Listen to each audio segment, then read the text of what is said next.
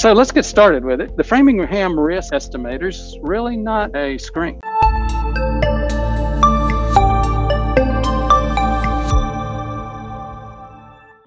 It doesn't measure plaque. It's a guess. And, you know, a lot of folks would not be happy to hear me say it's not a good guess either. But like I said, I am not the only guy saying that. Just go look at the science. It's a predictive equation. It's developed from the Framingham Heart Study, which started back in the 50s. This study's been renewed. It's now gone through five cohorts, I think. If you're not clear on what a cohort is, it's just five generations of folks being studied. It includes medical history, demographics, smoking history, things like that. It also even includes a tissue bank, serum bank, most of all. So with a serum bank, you can go back and say, look, we have questions, for example, about some of the more common ones were what level of cholesterol somebody had when they were 10 years younger. If you can convince the group that your study is worth taking a look at, they will let you go back and take a look at some of that old serum to see what that level was. Back to the score itself, it translates into a 10 year hazard risk ratio. It estimates your risk of having a heart attack or stroke. Now, these risk factors are important, they're not unimportant, but the dependence on a scoring to misdiagnoses, opportunities for treatment, treatment and some issues. Here's an example Susan. Susan is 62 years old. She was taking 20 milligrams daily of Lipitor. Her doc put her on that simply because her LDL was 105. But once you actually start measuring her plaque, she didn't have any. So she talked about her family history. She talked with a little bit more with her PCP and she talked with me. And after some discussions about her true risk, she decided, you know, I don't think I want to take those right now. Now, again, a lot of docs would say that's crazy. Anybody with an LDL of 105 should be on a statin. Yes, that's a very common standard that you'll hear, but again, there's new evidence coming out. There was a study recently that showed there's just not significant risk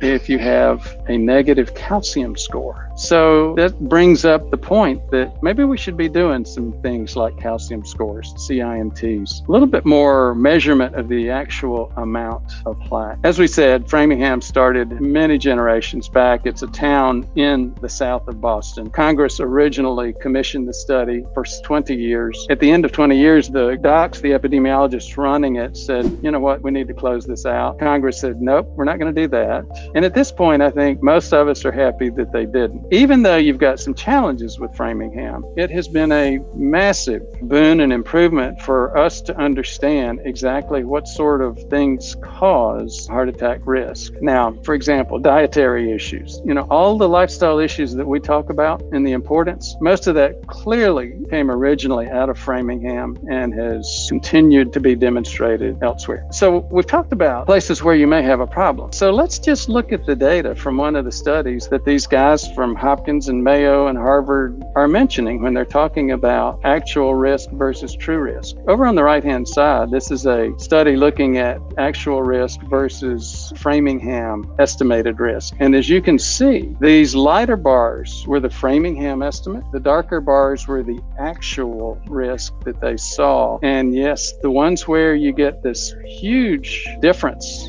is women. One study showed that among Japanese American and Hispanic men and Native American women, the Framingham risk factor systematically overestimated the risk. The most recent Framingham calculator often doubles the risk, especially in women. Yes, like I said, you don't have to be scrubbing through academic medical studies. New York Times has already covered this. And so what happens then is a lot of people get put on statins that maybe should not have been put on statins. So one of the questions that comes out of this is what causes the problem? Framingham. The bottom line is the guidelines go back to 2013, or the data that's used in the guidelines. So the obvious question is well, obviously we've had some significant improvement in risk. Why don't we use newer data? That 2013 and prior data is the data that's available, and it's the most recent data that's available. It takes a long time, to quote my friend James, the sausage to be made to take the studies, get them completed, get them peer reviewed, then get them into something like a Framingham risk calculator. So then the next question is well, if the 2013 numbers were bad, why don't we go back and use prior numbers? Well, the prior numbers are worse. So there's no suggestion. It would be crazy to throw Framingham out the door. Framingham is a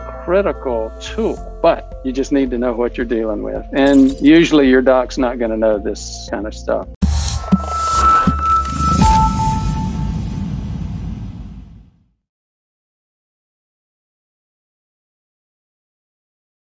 Why wait for a disease and hope for a cure? I used to be an ER doc. My name is Ford Brewer. I quit ER after a few years because it was just so frustrating. Most of the things bringing people into the ER are things that should have been prevented, including heart attack, stroke, number one cause of death, number one cause of permanent disability. People think that you're just going to have those and that they're not predictable. Both of those are wrong. You, they are predictable and you don't have to have them. Usually it's lifestyle. Lifestyle is more important than supplements and even prescription drugs and even stents and surgery. But the current times are tough. Major financial impact with the lockdowns that most states have been going through. We've been working on a way to make this much more affordable with a subscription process. And that's exactly what we're announcing today.